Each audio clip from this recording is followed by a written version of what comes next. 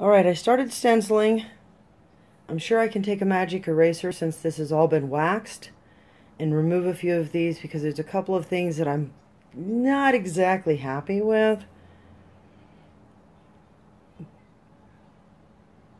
But I think really I like this side a lot.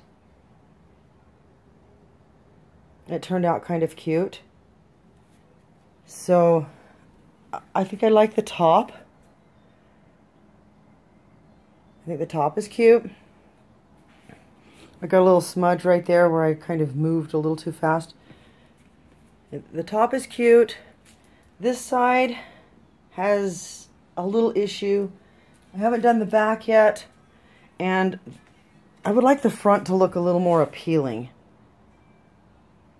Not that it doesn't, but there's just a little bit of an area that I could have be a little more appealing for me. So, there's my stenciling thing. And I ordered these um, these stencils from China, so it took like two weeks for them to come, but I only had to give like 98 cents for them, and they're pretty pretty decent little stencils. So instead of $9 a stencil, I got $9 worth of stencils and got a whole stack of stencils.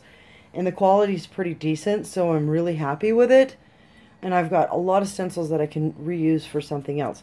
Okay, um, yeah, throw out the comments. Positive, negative, I want to hear it all.